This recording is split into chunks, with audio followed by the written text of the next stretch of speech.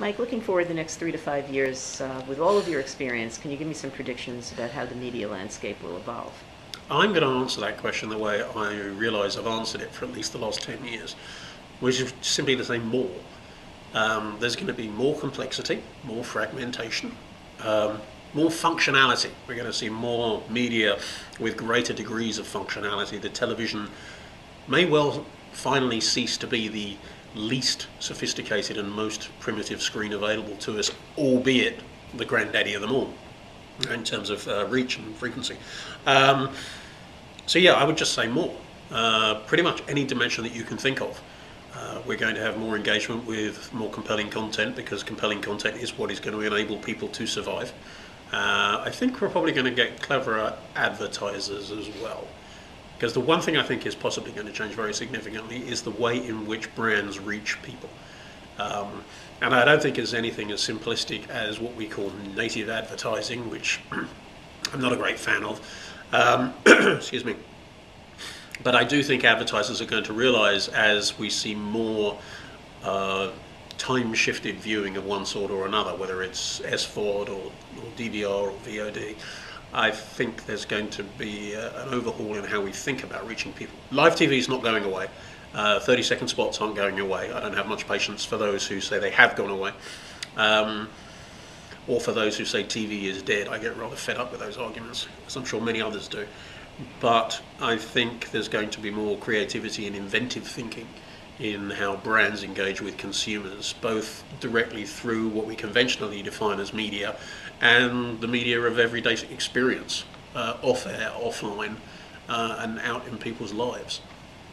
Do you think cord cutting is a phenomenon? Phenomenon's a big word.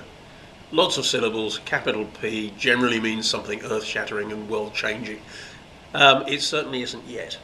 Um, the number of people cutting the cord may be increasing slowly, not as quickly as the number of people who are buying into you know SVOD services of one sort or another. Um, some of the people who cut the cord reconnect. Um, I, I think the bigger question is not whether people are cutting the cord and going to the uh, the other services like the Netflixes and the Amazons and the Hulus of this world. The question is the bigger question, more important question is of, of the entire landscape, including those who have both, of which there are many, myself included. What where's the proportion? Where's the share of viewing, and how is that shifting?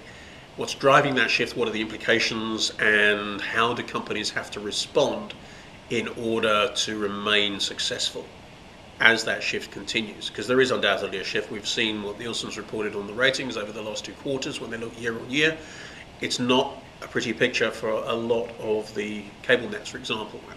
Um, doesn't mean it's not recoverable, but there's a lot of people out there right now with their strategic hats on thinking about what we do and there is undoubtedly going to be a lot more activity in the OTT space.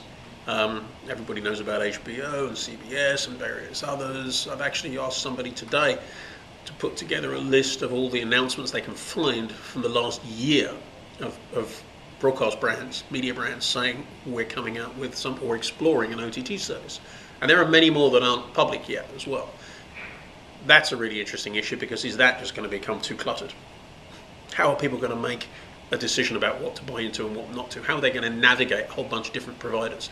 Uh, I foresee a lot of bundling as well as a bunch of mergers and acquisitions of these properties and a bunch of roadkill in the OTT space. It's going to become complicated. But nonetheless, companies have got to work out how they monetize the shift away from quite so much scheduled viewing on a live schedule. Um, and it's only going to get worse because we talk about the millennials right now, there's a generation that, that's following them that we at Magid refer to as the plurals. They live in the most pluralistic society that America has yet seen, and they are very happy with that. They have a very pluralistic outlook. They are kind of like, in many respects, not all, but in many respects, they're kind of like millennials on steroids. And one of the ways they're like millennials on steroids, in my view, is their media use. Uh, many of us have a plural in the home. My 14 year old son is one It's kind of scary. Um, but it is good because he's also my chief technology officer when I need some help. But uh, yeah, I think um, it, it's more about the overall shift because cord cutting is just one aspect of the shift that we need to look at. If we if we're fixated on cord cutting, we're not really looking at the bigger picture, and it's the bigger picture we need to understand. So it's more of a morphing of Yeah. a variety of things. Yeah, I, I, I like to look at time shifted viewing. Doesn't matter what form. Um, it creates the same problem. Some of them are more readily monetized than others, albeit in the early stages. Um, some of them are best suited to, for you know carrying on the advertising model, the conventional advertising model, uh, and some of them are not. But all of them put have the same thing where they put control of the viewing experience, the timing of it, and so on, squarely in the hands of the viewer, and the notion of the schedule is marginalised.